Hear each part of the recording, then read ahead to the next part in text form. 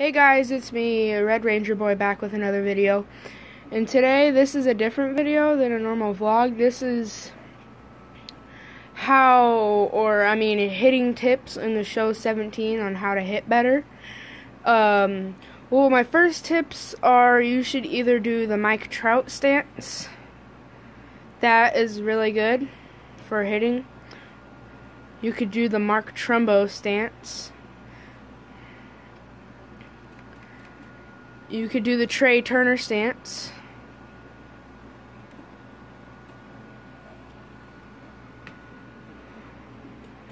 Or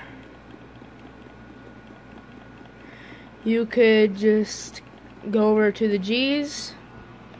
Hold on. Alright, you could just go over to the G's and do Yan Gomes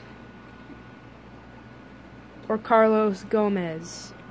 The reason why I'm doing Carlos Gomez is because I was on like a hot streak and I was hitting home run after home run. And then after like this batting stance got old and I started using it a lot, like I was only hitting pop-ups or like liners straight to the first baseman or something. And I switched to this batting stance and I got like 40 home runs and like all 40 at bats like straight after that. So this is why I'm suggesting this one.